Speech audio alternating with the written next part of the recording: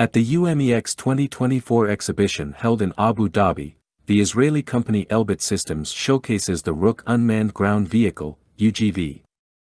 Developed in partnership with the Israeli company Roboteam, the Rook UGV was introduced to the public in November 2021. It is part of the Legion X family of UGVs and leverages the operational experience gained from Roboteam's Probot UGV, which is currently employed by several military forces.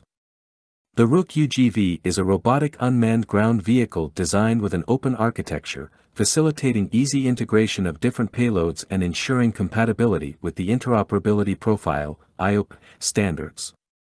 Its mobility is supported by a six-wheel frame, a turning circle with a zero-turn radius, and a low center of gravity, enabling it to operate effectively in both close and long-range operations across various environments while carrying substantial payloads. Operators can remotely control the UGV using an operator control unit equipped with a 7-inch screen and a user-friendly interface.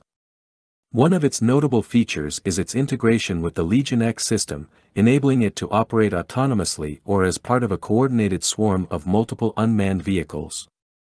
The Rook offers dual operational modes, allowing for teleoperation or fully autonomous and beyond line of sight, BLOS, operations. Its large loading platform can accommodate payloads of up to 1,200 kilograms, ranging from equipment and sensors to weapon stations and other essential components.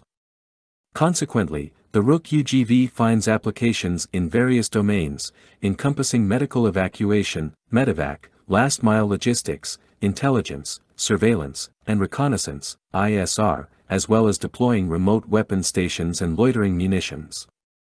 It is well suited for a wide array of combat missions, including urban warfare, battalion maneuvers, and border protection.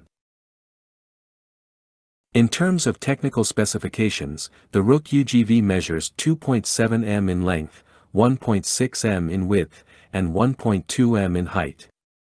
Its hybrid operation system, which combines internal battery packs and a fuel engine, allows a top speed of 30 km per hour, a towing speed of 80 km per hour, and the capability to climb vertical grades of up to 60%, with a ground clearance of 24 centimeters. The UGV can operate continuously for 8 hours, with a hybrid mode available for extended missions, and it possesses an operational range of 1,000 meters. Its communication is facilitated through an IP mesh data link, and its interfaces are designed to integrate with IOP standard equipment. Additionally, the UGV features visible white LED and IR light for illumination, complemented by a 360 degrees high-resolution real-time day-slash-night video system.